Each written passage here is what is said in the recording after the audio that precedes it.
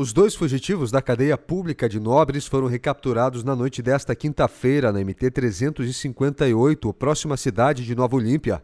De acordo com a polícia, uma equipe do 7 Comando Regional recebeu informações de que os fugitivos estariam indo para a cidade de Nova Olímpia.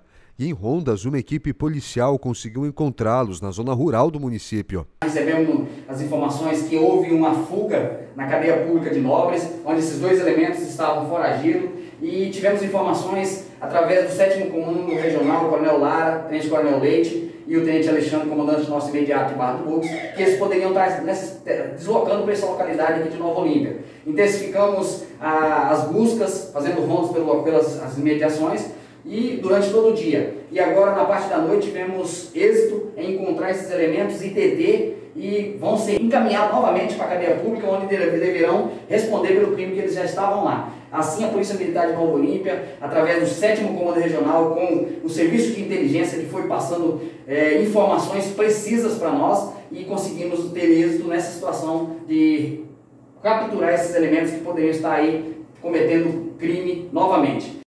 Valdir Alves da Silva e Alexandre Silva dos Santos fugiram da cadeia pública de Nobres na tarde da última quarta-feira, quando usaram uma corda artesanal para pular o muro dos fundos da unidade. Após serem encaminhados para a delegacia de Nova Olímpia, os dois foram transferidos novamente para a cidade de Nobres, onde devem dar continuidade no cumprimento da pena.